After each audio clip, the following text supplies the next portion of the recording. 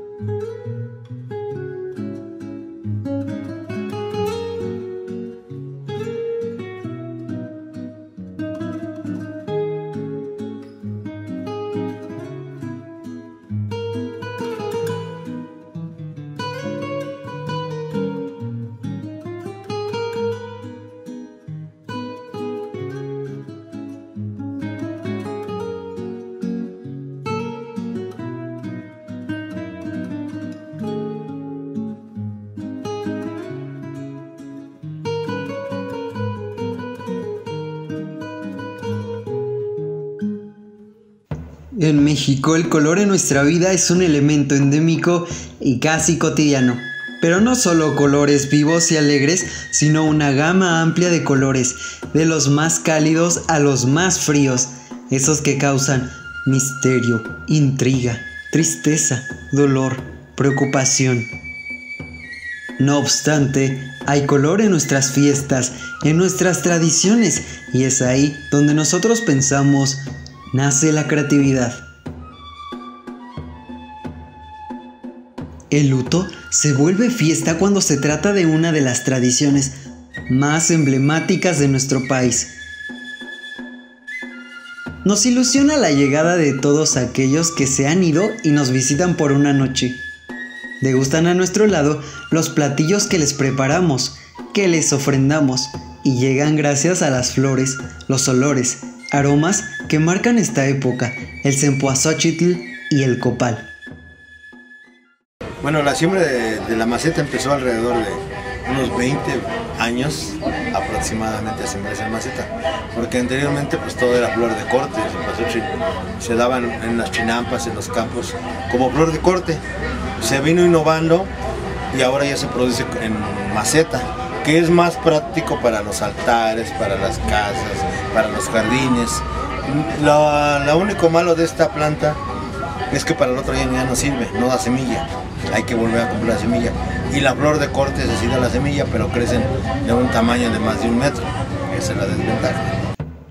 La producción de la flor de cempoazochil se da en Hidalgo, Chiapas, Morelos, Sinaloa, Tlaxcala, Oaxaca, Veracruz, San Luis Potosí, Estado de México y Ciudad de México, siendo los dos últimos los que más producción tienen de esta flor llamada de muchos pétalos o de 20 pétalos. Cabe destacar que en la Ciudad de México, Xochimilco es famoso y emblemático por ser uno de los principales productores de la flor de Día de Muertos, seguido por la alcaldía de Tláhuac, Milpa Alta y Tlalpan. Bueno, el mercado, aquí al mercado nos vinimos en el 76, en 1976 ya tenemos más de 40 años. Aquí estamos, pues claro, no producimos todo tiempo lo mismo. En esta temporada se pone un poco de cempasúchil, hay otras temporadas más adelantito ya sale la Nochebuena. El riego puede ser casi a diario porque es una planta que ha estado en sol, entonces se tiene que regar a diario un poco porque si no se reseca la tierra. Y lo que sucede no se mueren, simplemente las florecitas se, chupan, vuelven a regarlas y vuelven a tomar su, tonalidad y toda su estructura de la flor. Como tradición y cultura, ponemos una, una ofrenda, una mesa con flores, con pan, lo que supuestamente lo que comían los difuntos. No creo que vengan, pero por la tradición ya, ya es así. Todos lo celebramos a nuestra manera, ¿no? Tampoco creas que pongo una super ofrenda, pero yo creo que todos lo celebramos, ¿no? La mayoría de las gentes aquí en Xochimilco. Eh, poniendo ofrendas en la casa de ustedes, y vamos al panteón cuando se podía, ahorita definitivamente no vamos, ponemos ofrenda en el panteón y velamos toda la noche. Mire, aquí tenemos horario libre, afortunadamente, lo que pasa es que es una avenida Entonces aquí estamos todo tiempo. Estamos ubicados en la calle de Madre Selva junto al bosque de Nativitas. Esperamos contar con su presencia y que lo promuevan porque esto es muy importante. Aquí estamos y tenemos de todas las variedades y precios, a muy buenos precios. Bueno, yo les haría la invitación que nos encontramos derecho del Deportivo, aquí pegado al bosque de Nativitas, en la alcaldía de Xochimilco. El mercado se llama Madre Selva, tiene 46 años trabajando. Fue el primer mercado de plantas y es el más grande de todos los que hay aquí. Aquí van a encontrar desde una planta pequeña, medicinal, hasta una planta exótica. Todo el año está abierto de 7 de la mañana a 8 de la noche y que sigamos conservando nuestras tradiciones, que vengan y compren nuestros productos directamente aquí con los compañeros Xochimilco. ¿Algo más? Sí, yo también les quiero invitar a que nos, a ustedes puedan venir aquí a conocer el mercado. La verdad es que aparte de la calidad de las plantas que ustedes van a encontrar, también van a encontrar buen precio, que eso yo creo que todos eh, como familias estamos buscando para, pues, para solventar nuestros gastos y, buen precio, ¿no? Sobre todo, toda la mayoría de aquí de, de, de Xochimilco, de este mercado, son productores. Entonces ustedes van a encontrarse en pasuchiles de 10 pesos, de 8 pesos, de 15, de 20. Hay diferentes variedades como por ejemplo el maricol, que son eh, florecitas más chiquitas y de colores muy bonitos, la verdad, muy brillantes, eh, de, todos los, de todas las tonalidades, que de hecho esas variedades me parece que las traen de Holanda, ¿no? O... No, el, el, más pequeño, el que le llamamos clemolito, Ajá. es originario de aquí de, de México. El, este es el marigol, este sí viene de aquí de Estados Unidos, pero los, lo, en China y lo que es Europa, no sé qué le hacen a la semilla que ya no sirve para el otro año. Pero aquí en Xochimilco Ajá. todo lo producimos. Entonces ustedes van a encontrar un extenso surtido de verdad, eh, tanto de cempasúchiles como en todas las variedades. Eh, aquí hay más de 600 puestos donde ustedes eh, la pueden pasar y pueden visitar increíblemente. Eh, la verdad es que muchos extranjeros vienen aquí y se quedan sorprendidos eh, de las variedades. Hay variedades, por ejemplo, en, en, otras, en otras plantas como calas holandesas, eh, todos los cultivos holandeses, tulipán holandés, que, que, próximamente el otro año, ¿verdad?, encontramos esas variedades. Y ustedes, la verdad, van a encontrar un sinfín de variedad de, de plantas y bueno, ahorita por la temporada del cempasúchil. Así es que vengan, todos los productores hacen sus exposiciones, ahí van a encontrar desde el que le echó ganas hasta el que más o menos le echó ganas, ¿no? Del que le invirtió al que no le invirtió. Y también hacerles la invitación que tenemos una ofrenda a la entrada del mercado Ajá. para que vengan, se pueda tomar una Se tomen sus fotos. Todo eso. Y aparte también, este, bueno, en cuanto a un a comer familiarmente, bueno, pues aquí también hay restaurantes donde pueden encontrar desde quesadillas, pambas, etcétera, etcétera.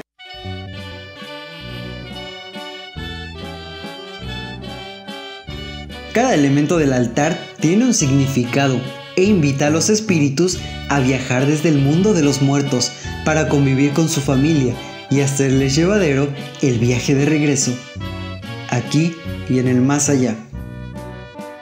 Representa la alegría por la visita de los fallecidos y simboliza el viento. ¿Recuerdas lo de volar como banderas? En la Ciudad de México nos encontramos con los maestros artesanos de papel picado, quienes nos cuentan del proceso de diseño y elaboración de estas piezas, piezas fundamentales de nuestras ofrendas. ¿Qué tal? Mi nombre es Yuridia Torres, pues ya llevamos 33 años trabajando, mis papás, el señor Alberto y la señora Bernardina empezaron hace mucho, pues hace 33 años, pero mi papá principalmente empezó desde muy niño a interesarse por este tipo de trabajo, recorte a tijera, cúter, después conoció las gurbias y pues de ahí pues nos seguimos, luego nos enseñó a nosotros gracias a un trabajo que nos este, pidieron, que le pidieron eh, el, para el día de la primavera, de hecho es nuestro aniversario, lo tomamos como inicio de aniversario y este y nosotros éramos muy chicos y de ahí pues nos, nos empapamos ahí en el trabajo y pues a mí me agradó este trabajo, me agradó muchísimo, ya posteriormente me lo encargó, digamos de cierta manera, me lo se dio mi padre y de ahí pues ya me, seguí a hacer el trabajo y con algunos familiares pues eh, continuamos trabajando y también he conocido a muchas personas que se han interesado, muchos chicos y pues es ahí que seguimos a la fecha del 2021, este, ya después de 33 años. Eh, pues realizando esta labor que es, para nosotros es muy apreciada hemos tratado de darle esa difusión este, a lo largo de este, de este tiempo. Pues pienso que sea como logrado porque pues eh, ahorita ya es muy reconocido el papel picado en todo el mundo. Incluso hasta películas hay donde lo, lo ponen, entonces eso también ha dado mucha difusión. Eh, eh, generalmente el papel picado se ocupa en Día de Muertos porque representa lo que es uno de los elementos naturales, que es el aire. El aire al no poderse ver digamos, físicamente, al momento que se mueven las banderas, pues ya se hace presente. Por eso es muy importante para el Día de Muertos. Y porque es eh, un elemento que sirve para poder llegar al Mictlán, que también por eso se ponía la ofrenda, para poder ayudar al alma al llegar al Mictlán. Y el papel picado sirve para pasar unas montañas pero no necesariamente se ocupa para Día de Muertos solamente, sino todo el año se usa de forma pues, muy recurrente para festividades pues tanto religiosas como sociales, como para adornar algunos locales. Entonces, pues este todo el año estamos trabajando. Nuestra época más fuerte pues sí es octubre, que yo también le llamo el mes del papel picado porque es cuando más trabajo tenemos pero comenzamos a programar lo que es Día de Muertos desde julio. Desde julio ya mucha gente empieza a preguntar eh, por lo de las ofrendas, principalmente lo que son este, algunos museos que se empiezan a preparar este, dentro de sus actividades. Entonces desde ahí empezamos este, a elaborar papel picado o a planear lo que es el papel picado Día de Muertos. En septiembre se usa para fiestas patrias y en diciembre para Navidad. Generalmente son como los meses claves, este, pero octubre pues bueno es el mes más importante de este trabajo. O sea, tenemos este pues una gran variedad de modelos, muchos pedidos, la mayoría son de nombres con calaveritas, pues este, celebrando, digamos, a esas personas que en vida estuvieron con nosotros y que fueron muy importantes para nosotros. Entonces pienso que es una fecha pues muy querida para pues para todo México y pues las tradiciones eh, no este pues son muy festejadas este y por eso es que como mexicanos nos gusta pues adornar festejar celebrar la vida. Entonces pues por eso el papel se ocupa en bodas, 15 años, bautizos, despedidas de soltero, de soltera, incluso nos han dicho que sí también para divorcios, bueno, así que la gente se le ocurre como cualquier evento para poder celebrar, eso es pues bonito porque pues esta vida se vino a disfrutar, entonces creo que los mexicanos lo sabemos y por eso es que pues aquí estamos el día que gusten, este, estamos de lunes a viernes de 9 a 6 de la tarde, sábados de 9 a 3. Pues los pedidos como nosotros como taller que todavía se realiza de manera artesanal, que hemos procurado realizarlo de esa manera, porque bueno, ya hay otras técnicas un poquito más industrializadas, pero nosotros lo realizamos todavía de manera artesanal, eso nos permite que se haga personalizado. Sí lleva su tiempo porque pues cada pedido es este, tanto en color, figura, nombre, incluso combinación, este, pues es muy, muy, muy especial, entonces lleva su tiempo, por eso pedimos por lo menos 3, 5, 8, 12 días hábiles, dependiendo de la cantidad que soliciten, también la carga de trabajo, por ejemplo, en medio de octubre, pues sí se les este, invita a que lo pidan con bastante tiempo, por lo menos con 15 días, pues para poder este, este, pues todo, todo el trabajo que se solicita. Bueno, aquí es el área de picado. Es, lo primero que se elabora es el paquete, ya sea de papel o de plástico, dependiendo lo que haya pedido el cliente y la cantidad que se necesite. Ya que está hecho el paquete, se le pone un plástico protector o un diseño o un dibujo este, o un modelo de los que ya tenemos hechos para pasar al área de picado, que es donde nuestros compañeros tienen su juego de gurbias, eh, que son curvas, rectas y escuadras, y ellos ya van viendo en dónde se le va a golpear. Si es dibujo nuevo, este, pues se les deja un poquito más a su, a su imaginación, se podría decir. Pues sí es complicado, igual ya aún teniendo algo de tiempo en este taller, que me llegan todavía a romper las planas, ya que el papel de China es muy delicado. Entonces, por ejemplo, los detalles pequeños y hay que tenerles mucha paciencia porque es muy fácil que se rompan. Bueno, estamos muy orgullosos y contentos que nuestro trabajo ha sido reconocido en muchos lados. Eh, varios museos nos han solicitado, eso nos llena de pues mucho orgullo y mucho compromiso, pues porque pues tenemos que hacer el trabajo con la calidad que se requiere. Este, y eh, nos ha permitido que también el trabajo se haga precisamente también para algunos festivales de cine. Hemos sabido que se ha ido a otros a otros países, representando de cierta manera. Y pues aquí en la ciudad, este, el año pasado tuvimos la oportunidad de poder eh, realizar algunas piezas para el gobierno de la Ciudad de México, para la ofrenda que se otorgó para, pues ahora sí, para todas las personas que han, lamentablemente han fallecido por el COVID. Entonces, pues nosotros nos hicieron la invitación para poder realizar esas piezas monumentales pues sí llevo su tiempo, somos ahorita en el taller, eh, generalmente somos alrededor de 10 a 24 personas que elaboramos.